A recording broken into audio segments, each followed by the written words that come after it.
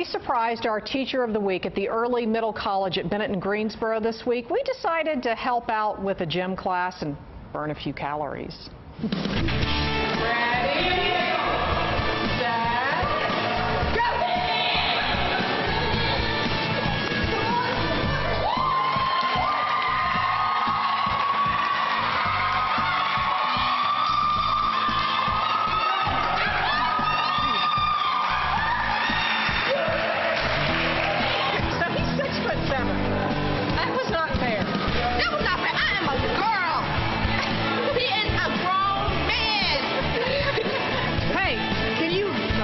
Do jog suicide? Yes, and it's gonna be suicide for me at 50.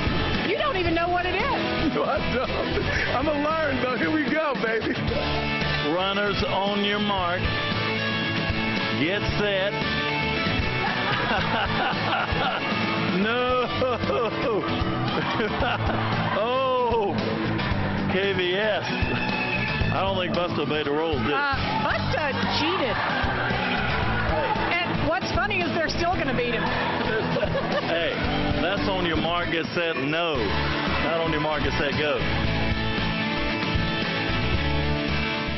You know, it's really sad, Busta, when you cheat and then you still lose. You know, when I look back at that, it seemed like I won that race. you did not. No. Trust me. Mm. It was a little bit closer, but I think Yeah. Danielle, Danielle got Yeah. you just, just by a hair. You know, I cheated a little bit. I never heard of a suicide run until that day. Yeah, they're not easy. And it was su- almost suicide for me at 50. I was.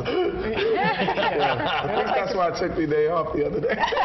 You'll take it forever. Yeah, man, that, that was a good time. That's a good time. You didn't see his shoes flop off either. That was what was amazing.